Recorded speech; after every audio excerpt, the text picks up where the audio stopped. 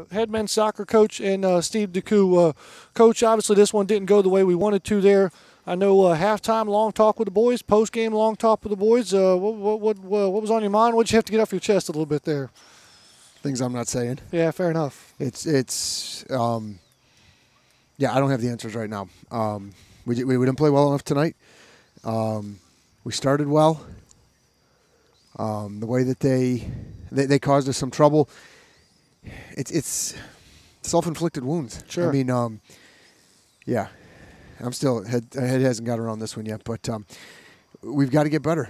Um, this is this is unacceptable. This isn't good enough. I, am not pleased with the performance, uh, but it starts with me down to the last man. We've got you know we got to go back and, and watch film tonight, try to figure out you know what can we work on. Um, yeah, it's this just wasn't good enough. Yeah, two losses in the last three games for the Grizzlies. Are these things that we can fix?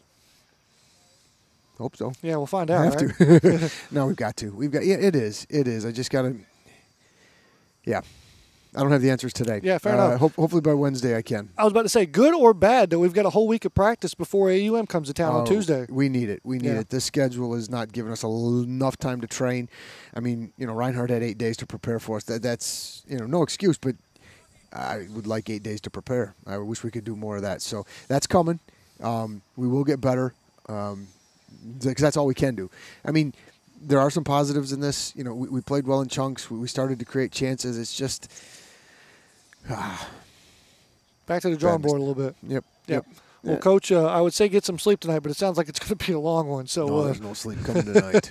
Coach, thanks for joining us. I Thanks, greatly appreciate it. So that'll do it here for our entire cast.